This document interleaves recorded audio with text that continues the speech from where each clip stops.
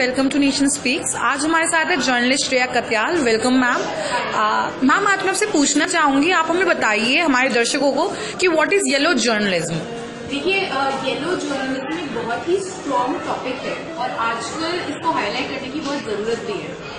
Yellow journalism basically means that false false information तो हर channel की हर न्यूज़ रिपोर्टर की या एक अच्छे जो मैं कहती हूँ पत्रकार की रिस्पॉन्सिबिलिटी है कि वो दुनिया तक सच्चाई पेश करे ठीक है?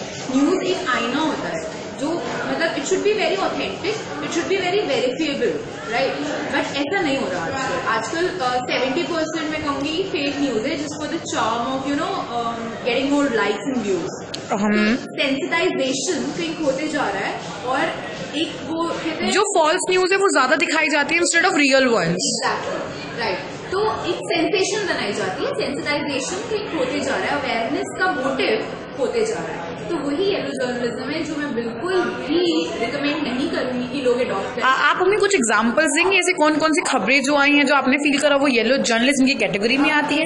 पर्टिकुलरली मैं कोट नहीं करूँगी बट फिर भी जेनरिक वे में मैं आपको बता सकती हूँ आपकी रेफरेंस के लिए कि कई बार क्या होता है कि ये हेडलाइन कुछ और होती है अगर हम ऑनलाइन कंटेंट देखें तो एक टैगलाइन डिफरेंट होती है और जब हम आर्टिकल खोलते हैं तो एग्जैक्टली टैगलाइन से बिल्कुल ही डिफरेंट होता है। तो जिस व्यूअर्स को अट्रैक्ट करने के लिए क्लिक्स के लिए वो ऐसी हेडलाइन बना देते हैं कि वो खोले तो सही आर्टिकल क्लिक्स तो बढ़े which is again yellow journalism and secondly मान लो कि कहीं बॉम्ब अटैक या बॉम्ब ब्लास्ट नहीं हुआ है फिर भी न्यूज़ चैनल ने बता दिया यहाँ बॉम्ब ब्लास्ट है बॉम्ब प्लांटेड है। तो उससे कितना देश को नुकसान होता है कितने लोग फेयरफुल होते हैं कितना इकोनॉमिकली लोग काम पे नहीं जाते तो that's all very wrong that comes under thanks okay thank you so much ma'am for your golden words and आपने हमारे सभी बताया कि what is yellow journalism thank you Roposo.